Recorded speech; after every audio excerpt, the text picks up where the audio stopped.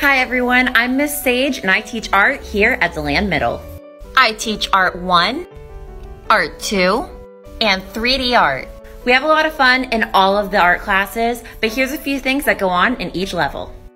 In Art 1, we focus pretty heavy on the elements of art and the principles of design, which are the foundations for all of the artwork that we end up doing. In Art 2, we're also going to be diving into our fundamentals and the basics about art, but I go and teach you guys a little bit more in detail with the different techniques and skills that could really advance you as an artist. 3D is offered to 8th grade only. In the 3D art class, we focus on structure and stability. So anything that the students get to build is going to be something that is going to start from the foundation up and it's always going to hold.